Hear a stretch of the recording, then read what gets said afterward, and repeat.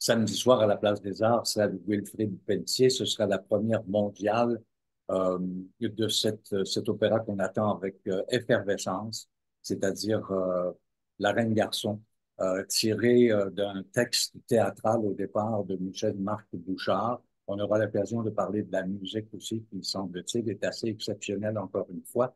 Mais, de Julien Bilodeau. De Julien Bilodeau. Mais pour l'instant, j'aimerais qu'on puisse faire une rencontre avec euh, le comte, euh, le comte euh, Karl Gustave, qui nous attend à l'autre bout de l'image. Salut, comte. Ça va? Oui, bonjour, roi et reine. bonjour, Étienne Dupuis, tu vas bien? Très bien, merci, merci. Vous allez bien aussi? Oui, très bien. Vous êtes en pleine euh, répète, vous êtes à quelques heures à peine de cette première mondiale. Oui, techniquement, les répétitions ont terminé hier soir. Donc là, ah. il reste que les spectacles maintenant. Alors, ton feeling, le bonbon. ça donne quoi exactement, Étienne? Pardon? Ton feeling, ça donne ah, Mon feeling? euh, alors, c'est, c'est, drôle comme feeling parce que de l'intérieur de la pièce, on, on a une impression complètement différente de ce qui se passe pour plusieurs raisons. Euh, la raison principale, c'est que le, personnage principal de l'œuvre, c'est Christine. Et donc, elle est sur scène du début à la fin, mais nous, on vient, tous les autres personnages, on est assez nombreux, mais on vient faire des petites, euh, des petites rencontres, des petites, des petites, euh, présences. Et puis, et puis après, on sort. Et donc, on a cette espèce d'impression de. Moi, par exemple, mon impression est basée beaucoup sur mon histoire avec Christine. Que moi, j'ai l'impression que c'est une œuvre qui est plutôt romantique, qui est plutôt euh, touchante. Euh, et puis, ce qui se passe, ça fait un peu. Euh, mon Dieu, moi, je vais en bien loin dans ma réponse. Moi, j'ai ah. je vous ai la question, puis je suis rendu à l'autre bout Oui, mais justement, parle-nous de, l'histoire. Raconte-nous cette histoire de la Reine Garçon. Oui, bon, alors la Reine Garçon, OK, ça, c'est plus simple pour moi à répondre parce que je veux pas me commettre sur l'impression, on dirait. C'est drôle, hein? Je, j'allais juste répondre à l'impression que des gens à qui j'ai parlé, tout le monde a trouvé ça très beau. OK? Puis pour l'histoire, ben alors l'histoire, c'est la Christine, la reine de Suède. C'était dans les années 1640 quelques. Euh, je sais qu'en 1650, c'est moi, c'est Carl Gustave qui a pris le relais, donc c'est juste avant. Euh, et Christine est une reine atypique, donc qui n'est pas euh, intéressée du tout au mariage, elle n'est pas intéressée, même je dirais, aux affaires d'État typiques, donc ce qui est guerre et ce qui est conquérir les territoires avoisinants, tout ça. Ben, ça, ça ne l'intéressait pas du tout. Elle était plutôt tournée vers les arts, la philosophie. Elle voulait que son peuple soit plus cultivé, ce qui est très, très à contre-courant de ce qui se faisait à cette époque-là. Euh, et donc, quand on était à contre-courant, qu'est-ce qui se passe? Ben, tout le monde complote contre nous. Donc, mais elle était très, très forte. Elle a été élevée comme un homme par son père. Elle se battait comme un homme à cheval et tout ça. C'était très forte. Et euh, elle avait, entre autres, ce qu'elle appelait des compagnons de lit. Et donc, elle avait une compagnonne de lit, la comtesse. Euh, mais euh, l'œuvre, euh, on prend quelques libertés, je, pense que ce sont des libertés, où on sent que, par exemple, elle essaie vraiment de se débarrasser de cette passion-là, de cet amour-là. Ça, lui nuit. Elle, elle veut pouvoir, elle veut pouvoir exercer ce que le philosophe Descartes lui apprend à être le libre arbitre, donc le droit de choisir soi-même sa propre destinée. Et d'ailleurs, c'est ce qu'elle va faire à la fin. Elle abdique la couronne, elle a passé son cousin Carl Gustave, euh, et elle, elle, garde le droit de faire ce qu'elle veut. Et elle, part, elle s'en va, en fait, dans l'histoire, elle, s'en va au Vatican, elle s'en va rejoindre euh, le pape et, euh, et ses sbires.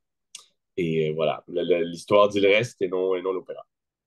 Étienne, le, le rôle-titre est tenu par la fabuleuse Joyce L. Coury, qu'on a vu dans Madame Butterfly.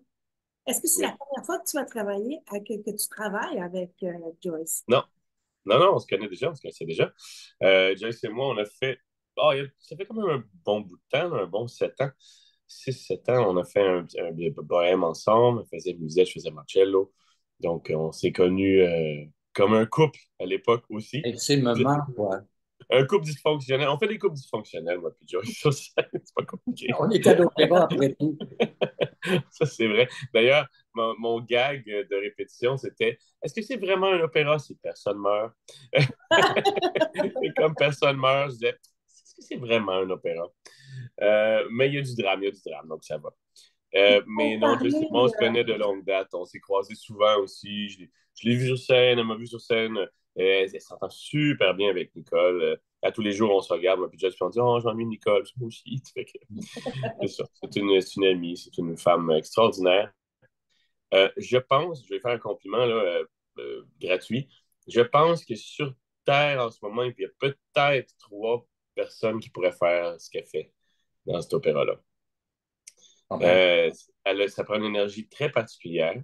Ça prend une voix, une voix solide. Ça prend une voix euh, capable de chanter du Strauss. Ça, et, donc, et, donc, et ça prend euh, une, grande actrice aussi. Donc, d'avoir cette.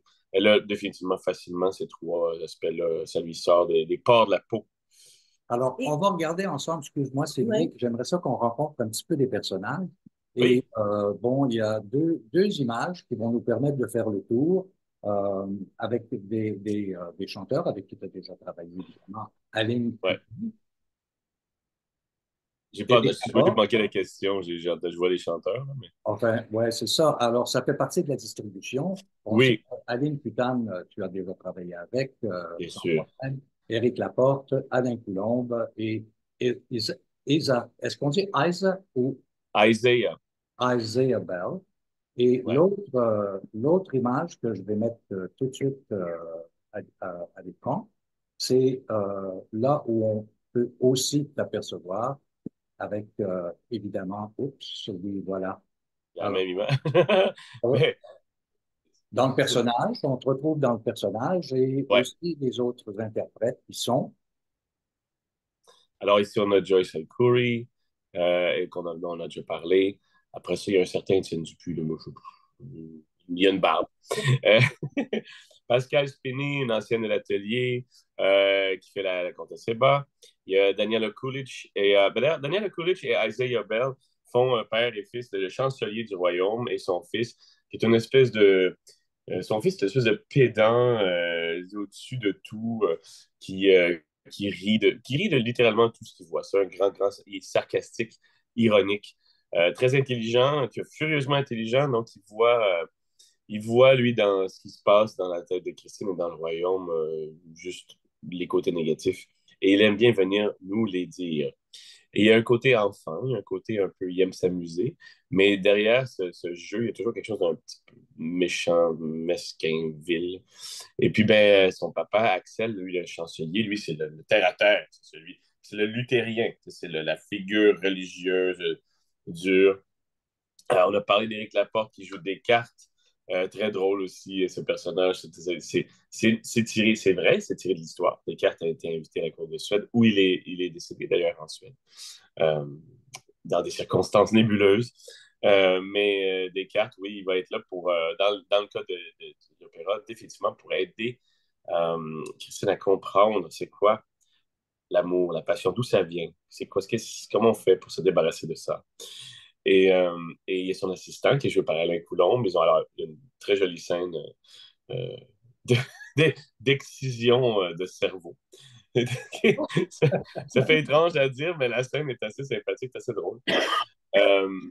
et ensuite, j'oublie, j'oublie sûrement quelqu'un. J'ai parlé de Alain, de, de, de, Pascal, de Joyce, de Daniel et Isaiah. Il me semble, mais ce feeling-là qu'il nous manque quelqu'un. Ah, Aline, Aline, Aline Coutin, pardon. Voilà. On l'avait mentionné, mais Aline, elle, elle, son personnage. Alors, elle a eu qu'une scène vraiment, mais toute une scène. c'est ce genre de personnage-là dans un film qui, qui, il y a cinq minutes de, de, temps, puis tout le monde parle juste de ce personnage-là après. Là. Mm-hmm. Elle fait la mère de Christine. Elle rentre sur scène. Déjà, son entrée, c'est. c'est ça glace le sang. Et puis elle rentre sur scène, puis immédiatement on la déteste, mais en même temps on rit. C'est hallucinant. Les, les, les choses qu'elle fait sont extraordinaires, vocalement, euh, en plus, et musicalement extraordinaires. Et, mais les choses qu'elle dit, c'est des coups de poing. C'est vrai, des trucs. Euh, oh, un personnage exécrable. Et justement, Étienne, musicalement, on peut s'attendre à quoi de la musique de Julien Bilodeau? De Julien Bilodeau? Ben, Julien, c'est un, un pont il y, a, beaucoup de. Dans la composition contemporaine, moderne, il y a beaucoup, évidemment, d'écoles de pensée, il y a beaucoup, tu sais, puis il y a beaucoup d'académisme, je vais dire, je vais inventer un mot. Mm. Euh, Julien, ce que j'aime avec lui, c'est que même s'il connaît tout ça, il a tendance à, essayer d'aller vers quelque chose qui est plus un, feeling. Tu sais, comment, comment il sent, comment il sent la scène. Euh, euh, les discussions que j'ai avec lui, je remarque beaucoup à quel point il se fie énormément, par exemple, à la didascalie. Ou est-ce que s'il est écrit qu'il se passe tel truc, ben, il va écrire composer une musique qui va ressembler à ça. je m'excuse, je me suis étouffé. Euh, donc, Julien, sa musique, c'est euh, étrangement, je, vais ça comme ça, c'est étrangement tonal. Parce que, en fait, ce n'est pas tout le temps, ce n'est pas tant que ça, mais il, y a comme une, une espèce d'ancrage, de base, de quelque chose de facile à comprendre et à entendre même si on ne comprend pas tout le, génie de, l'écriture de la façon dont ça a été construit, imbriqué, c'est pas important, ça. C'est comme, je dis, toujours le, même exemple de la nourriture.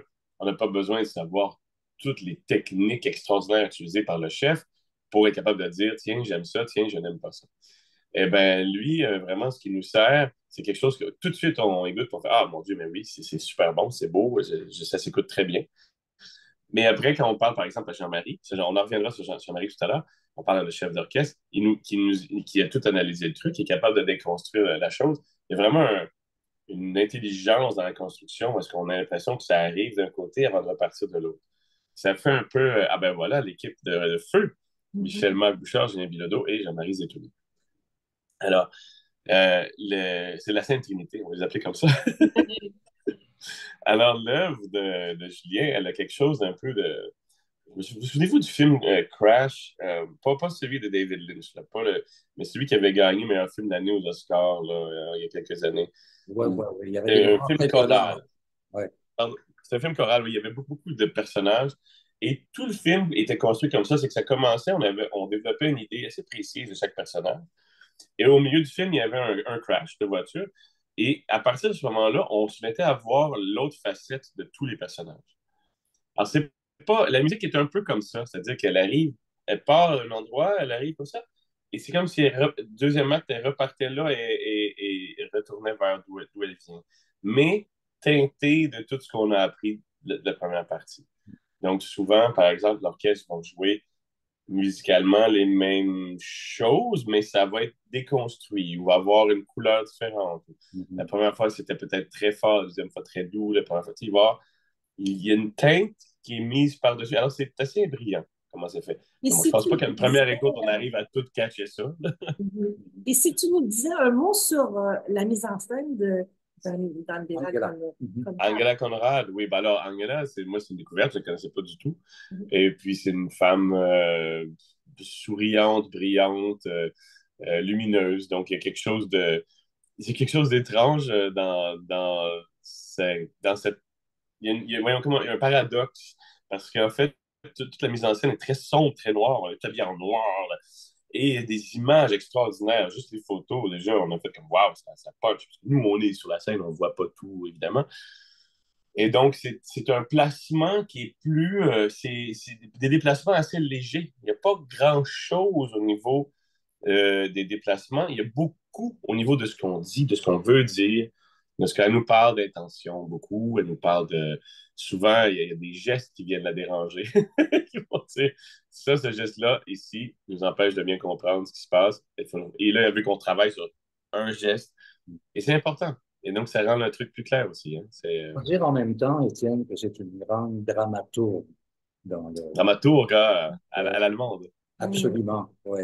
Euh, écoute, euh, le temps file et j'aimerais peut-être, toi, tu voulais soulever euh, ben moi, je veux juste dire que c'est l'Orchestre symphonique de Montréal qui sera dans la France, le chœur de euh, l'Opéra de Montréal aussi.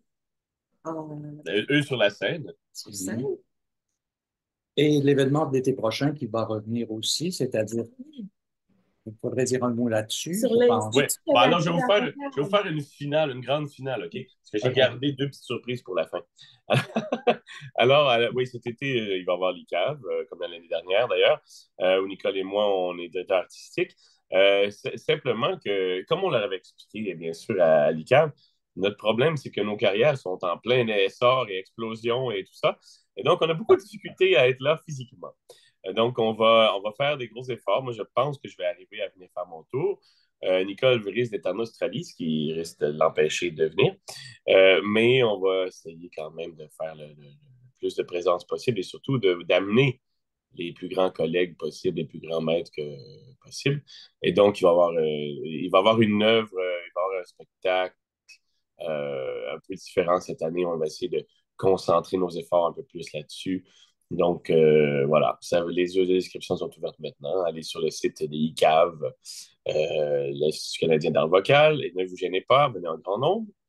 Et, euh, et je voulais, moi, juste, désolé de prendre le contrôle, mais je voulais juste spécifier, parce que j'ai quand même oublié de parler de deux personnes importantes. J'ai parlé de Jean-Marie Zetouni déjà un petit peu, j'ai dit que je voulais en reparler. Lui aussi, c'est un chef d'orchestre, euh, pas comme les autres. Il y en a peut-être trois ou quatre sur la planète qui peuvent faire ce qu'il fait, de penser, de se diviser en cinq, six, sept personnes différentes pour aider les chanteurs, l'orchestre, C'est incroyable. Sans lui, euh, je pense pas que l'œuvre est dans l'état qu'elle est là. Et euh, donc, je tenais à dire ça. Et je tenais à dire aussi qu'on a la présence d'Anne-Marie Baudette. je ne sais pas si vous savez c'est qui Anne-Marie Baudette, mais Anne-Marie, moi, je l'ai connue, on était au cégep ensemble. Elle avait un an derrière moi. C'est une grande chanteuse aussi. Euh, que j'ai vu autant dans les chœurs que comme soliste tout ça. Et pour s'amuser dans son salon, Anne-Marie, elle aimait ça faire du kulning. Kulning? Je pense que je l'ai dit comme il faut. Kulning. C'est un chant euh, de berger suédois. C'est un chant pour. Euh, c'est un peu comme le yodel suisse, mais suédois. Et elle s'amusait à faire ça.